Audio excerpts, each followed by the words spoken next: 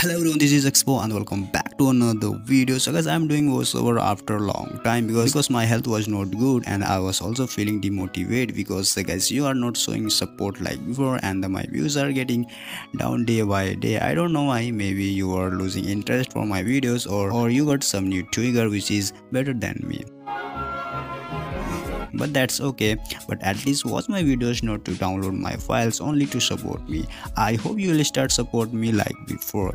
So guys let's talk about today's video. Guys today in this video i'll provide you new app and the script file to boost your gaming performance like high-end devices. And some viewers have already used this app before but along this app i will also provide a script to optimize your gaming performance guys the app name is z32x it's a kind of Magisk module app which helps to get better optimizations for our games. This app will tweak your Android and the kernel parameters to have better overall experience. It has more features like it reduces jitter latency, optimizes RAM management, reduce performance spikes, allows CPU and the GPU to boost as scheduled and many more. Guys this is rooted app which is modded by Love Do Love so all credit goes to him and the developers and if you are rooted user then give root permission after opening the app but it will also work in non-rooted devices. Guys I hope you like this app and don't forget to try this out and also comment down your feedback about this app and the script file. So now let's move on to the tutorial but before that make sure to like, share, comment and subscribe to support the channel.